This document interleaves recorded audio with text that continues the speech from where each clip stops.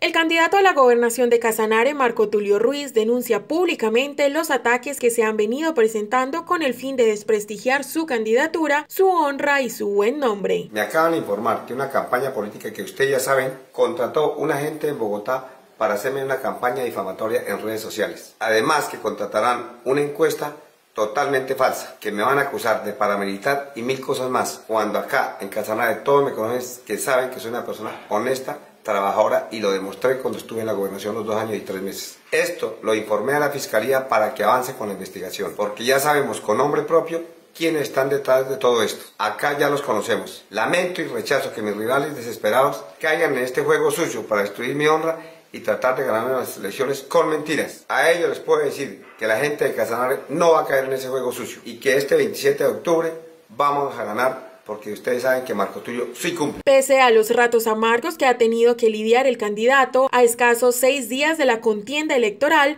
Ruiz sigue en la competencia por ocupar el mayor cargo en el departamento de Casanare y se posiciona como favorito gracias al respaldo de miles de casanareños que creen en su trabajo y le apuestan a las nuevas oportunidades.